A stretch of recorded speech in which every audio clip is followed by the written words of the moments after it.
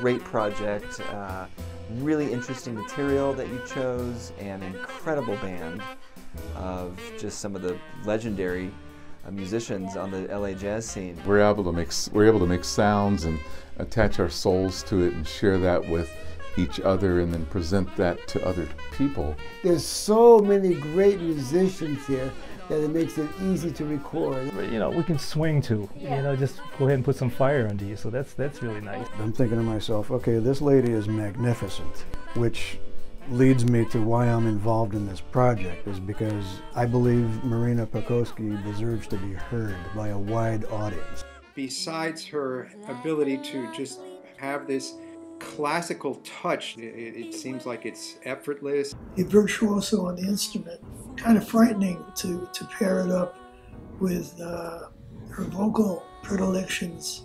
I don't want to paraphrase Nietzsche, or I could paraphrase him and say that, you know, a life without music would be a mistake.